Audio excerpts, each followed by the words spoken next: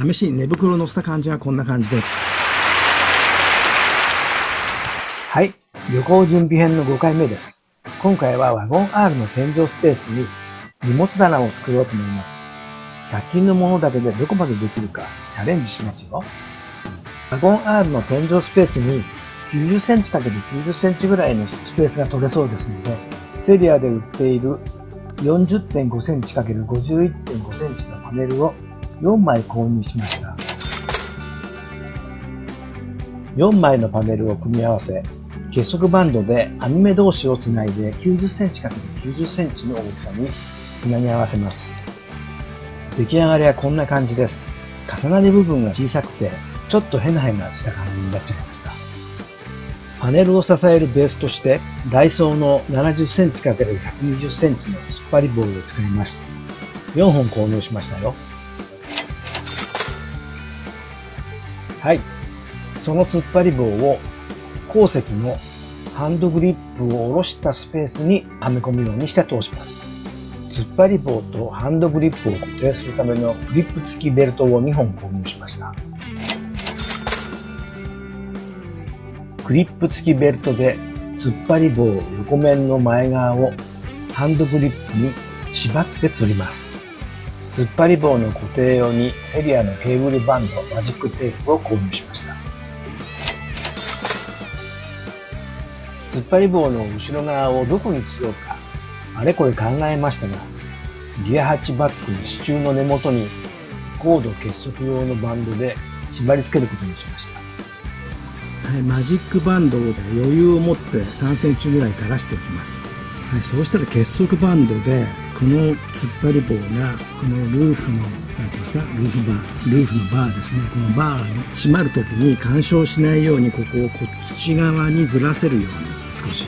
分かりますか、この中心線とこの中心線がずれてます。内側に来るようにこんな感じで止めます。なんかいい金具ないかな？これ。はい。棚のバーのねステーがこれで左右完成しました。はい。左側こんな感じです。右が左右同じように作りましたはい次にメッシュパネルを突っ張り棒に吊り下げるアイテムとしてセリアにてバーフック10連を2個購入しました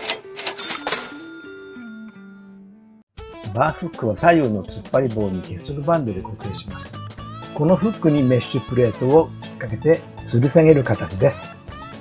パネルが必要ないときは、すぐに外せる構造になっています。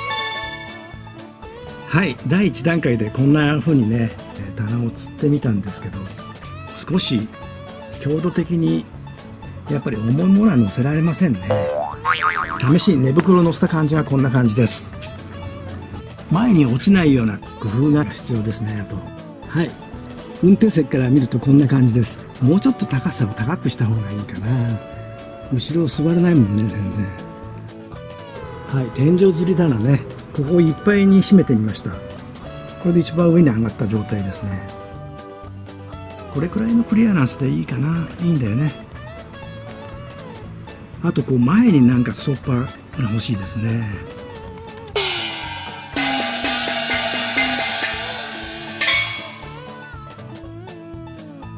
パネルの強度補強と荷物のストッパー機能にセリエでメッシュトレイを購入しました。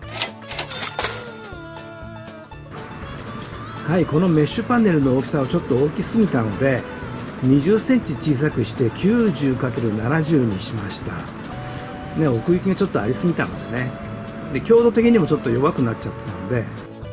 それとフロント側にメッシュトレイを置いて、物が落ちないようにすることと補強が目的です。そして新たにセリアにてバーフック10連を1本そしてバーフックを突っ張り棒に固定するためにキーフックを購入しました。はい。リアのハッチバックの支柱に取り付けた突っ張り棒にまたその上にまたこの横に通す形で新たに突っ張り棒を1本追加しましたこれでね強度を補強するためですねそしてバーフック充電をメッシュプレートに取り付けてそのバーフックをキーフックで突っ張り棒に潰すようにしました。これで横方向の強度が保てますね。そして前側のプレートの補強用にセリアにてしっかりベルトフックを購入しました。はい。そしてフロント側の補強用に、えー、ここにフックをね、カゴに取り付けてあります。こちらもね、2箇所。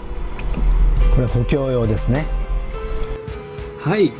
ワゴン R のあの天井部分のねスペースの有効利用ということでこの網目パネルをこう釣ってみましたこれで完成ですちょっと複雑な機構になってしまいましたが全て100均のものを使って作りました。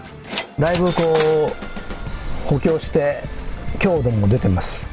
重いものもこれで乗せられるようになりますね。かなり使い勝手が向上したんじゃないでしょうか。はい。それでまた次回をお楽しみに。